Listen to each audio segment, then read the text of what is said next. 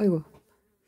에, 오늘 우리 삼식님의 밥상에 아침에 텃밭에 가서 올해 처음으로 꿀고구마를 캐가지고 음, 이렇게 에, 꿀고구마 아, 에, 전을 붙이고 또 호박도 담벼락에 붙어있는 애호박을 따다가 이렇게 어, 애호박 전을 붙였어요. 그리고 여기는 귀리하고 찰옥수수하고 자색 고구마가 들어있는 잡곡밥이에요. 통곡물을 많이 먹으라고 그러잖아요. 건강에는.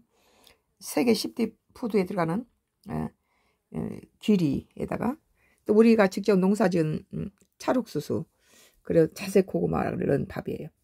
그리고 이것은 이제 에, 식물성 단백질인 콩 제품인 된장하고 밥새우를 넣었어요.